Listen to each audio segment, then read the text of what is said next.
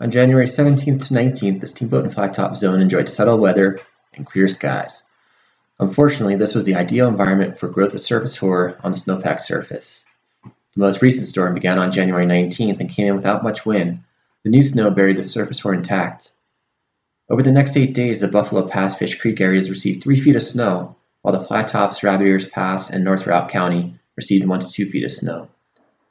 The larger amount of snow just north of Mount Werner formed a cohesive slab over top of our buried surface hoar layer.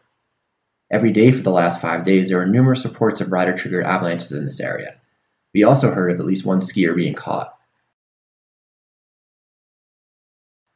Although the avalanche danger has dropped to moderate, heightened avalanche conditions continue to exist, especially around Buffalo Pass and Fish Creek. Dangerous human-triggered avalanches are possible.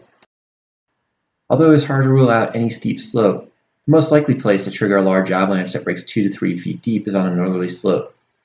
Slopes that have this dangerous snowpack structure are places such as open meadows or open spaces in tree terrain.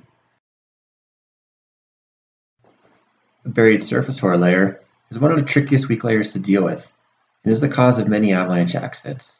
With this buried weak layer, remotely triggered avalanches are common and normally safer lower angle slopes are also capable of avalanching.